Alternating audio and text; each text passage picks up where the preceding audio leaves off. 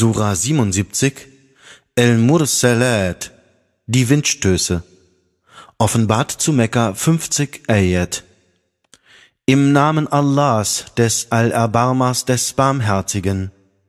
Bei den Windstößen, die einander folgen, und bei den Stürmen, die durcheinander wirbeln, und bei den Engeln, die stets die Wolken verbreiten und zwischen Gut und Böse unterscheiden und die Ermahnung überall hinabtragen, um zu entschuldigen oder zu warnen.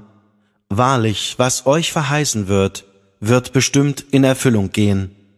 Denn wenn die Sterne verlöschen und der Himmel sich öffnet und wenn die Berge hinweggeblasen sind und die Gesandten zu ihrer vorbestimmten Zeit gebracht werden, für welchen Tag sind diese Geschehnisse aufgeschoben worden? Für den Tag der Entscheidung. Und wie kannst du wissen, was der Tag der Entscheidung ist?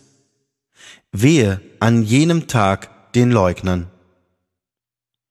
Haben wir nicht die früheren vernichtet, als dann ihnen die späteren folgen lassen? So verfahren wir mit den Schuldigen. Wehe an jenem Tag den Leugnern.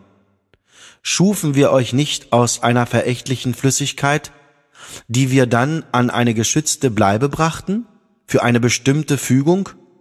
So setzten wir das Maß fest. Wie trefflich ist unsere Bemessung?